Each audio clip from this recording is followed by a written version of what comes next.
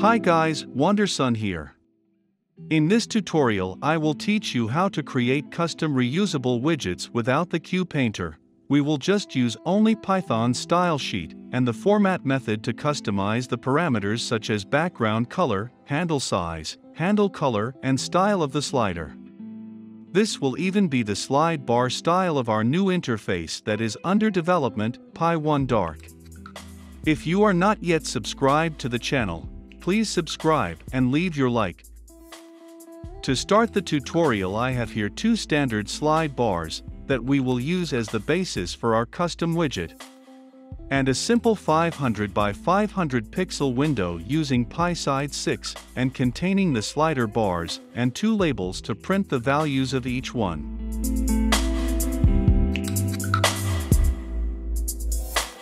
Let's start by creating a folder called PySlider that will be our package. Create a file called initpy and another called PySlider that will be our custom widget. Copy the modules PySide 6 to the file PySlider and create a class also called PySlider which will contain the class QSlider. Doing this we will inherit all the objects and interface of the standard slider of the Qt.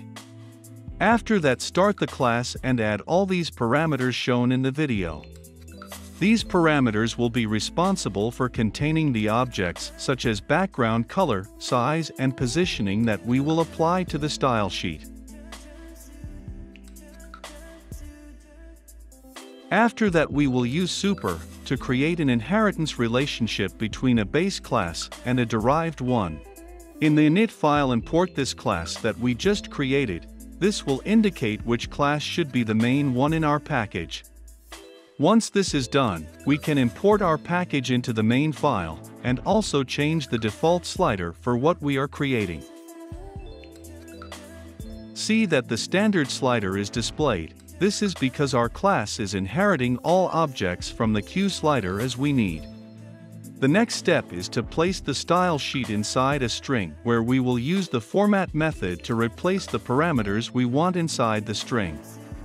I'm going to paste a style sheet into the string. This style sheet is the same used in the PyDracula project, but with double keys to not generate problems using the Python format method.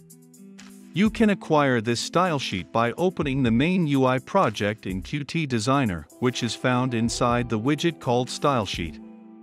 Just copy and put inside the string as shown in the video and replace all single keys to double keys as I am showing in the video.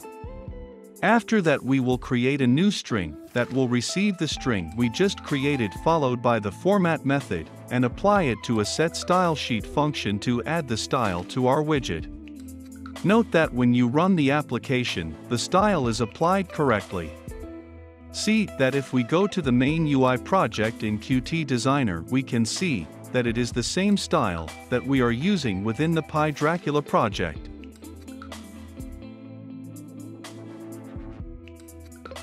If you want to learn more about how to use QSS which are the styles used by Qt widgets to change the appearance of each widget, you could search here on the channel that there are several videos where I teach step by step how to apply these styles. Like the custom scroll bar and custom buttons videos. After that copy all the parameters that we just created inside the class PySlider and paste it into the format method below, done that change the names of the parameters so that they do not repeat. In this case, I will use the underline to say that they are internal objects.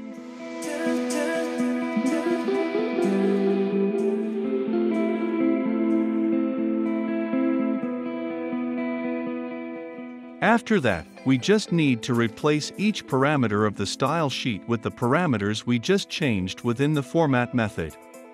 If you want to use the same ones as shown in the tutorial, just pause the time lapse and apply it to your project.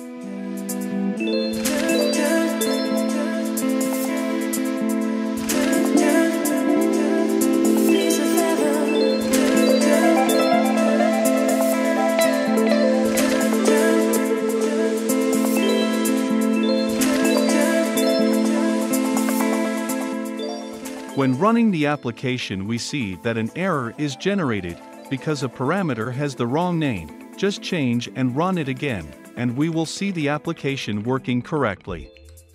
After that we have here our custom widget working where we can reuse wherever we wish.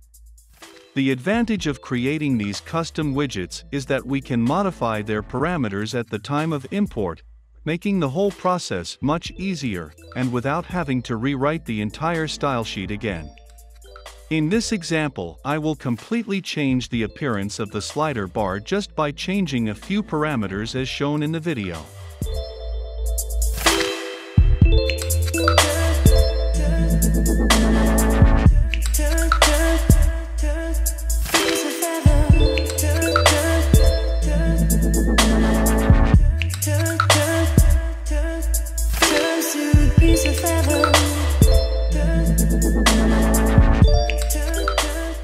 It is also possible to change all color parameters as shown. Remembering that all of this is just an example, and you can customize it to find the best way for your application.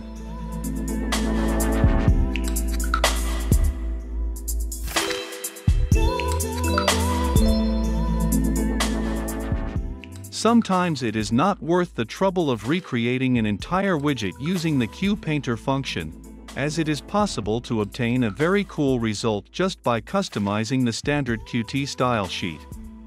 And we finish this tutorial here. But don't close this video yet. In the last video was the public launch of the project PyDracula, where I created a modern interface where you can use as you wish in your projects. The download link for PyDracula is available in the description of the launch video. The project is published on GitHub with a MIT license.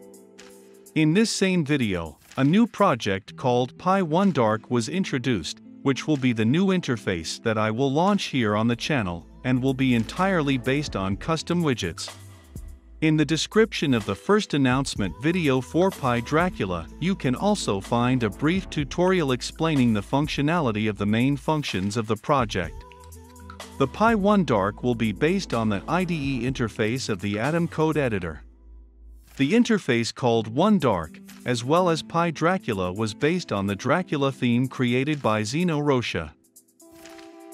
Thanks to all Patreon supporters, thanks to you these projects are being created, helping me to dedicate more time to all these projects.